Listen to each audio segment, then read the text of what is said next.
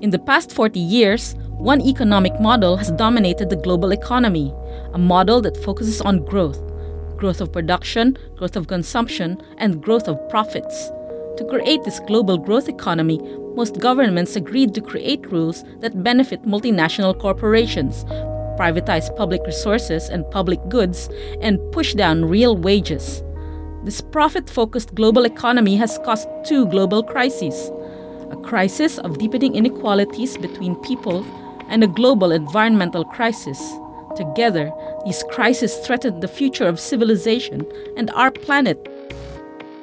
Inequalities between the rich and poor have grown in almost all countries. In fact, NASA funded research found that inequalities are so high that they have become a threat to the very existence of civilization. But inequalities between countries have grown even larger. The bottom half of the world's 7 billion people collectively own the same as the richest 85 people in the world. Think about that. The richest 85 people own the same as 3.5 billion people. And 80% of the world's population still live on less than $10 per day. Another way of looking at this is through the Walton family. They own the world's largest retail store, Walmart, and have a collective net worth of $150 billion. Their wealth is derived from the work of poor people. Women garment workers in places like Bangladesh work for poverty wages, forego health and safety standards, and risk their lives to make cheap disposable clothes for companies like Walmart. In an entire year, a woman garment worker from Bangladesh will make less than Christy Walton makes in one single second.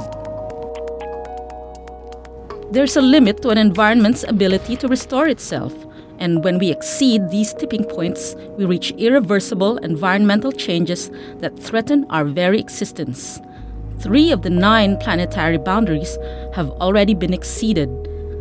If we continue to consume the way we have, the results will be disastrous. In Bangladesh, tides are rising 10 times faster than the global average, yet the country only produces 0.3% of the emissions driving climate change. By 2050, 50 million people from Bangladesh will have to flee the country. Where will they go? Will they go to the countries with the most historical responsibility for climate change? Or will they be forced to migrate across borders? Women comprise 70% of the world's poor. They consume the least, are paid the least, and own the least, yet they pay the highest price. They are 14 times more likely to die in disasters. This is not an accident. This is a product of choosing to cut government spending, of privatizing public services and assets, and of providing tax havens for foreign industries. It's a product of growing multinational companies, unlimited extraction of natural resources, and overconsumption. In reality, we have a system of governance that secures profits for billionaires but not a global system to secure human rights, economic justice, environmental justice, and accountability to peoples. Governments have created a system of binding rules to ensure the flow of wealth from developing countries to the richest countries. Rich countries try to compensate for the huge and growing gap by giving aid to poor countries, about $130 billion each year. So, why does the wealth gap keep getting bigger? One reason is that large corporations are taking more than $900 billion out of poor countries each year through a form of tax avoidance called trade mispricing. On top of this, each year, poor countries are paying about $600 billion in debt service to rich countries on loans that have been paid off many times over. And then there's the money that poor countries lose from trade rules imposed by rich countries to get access to more resources and cheaper labor. This costs poor countries about $500 billion a year. Altogether, that's more than $2 trillion that flows from some of the poorest parts of the world to the richest every year.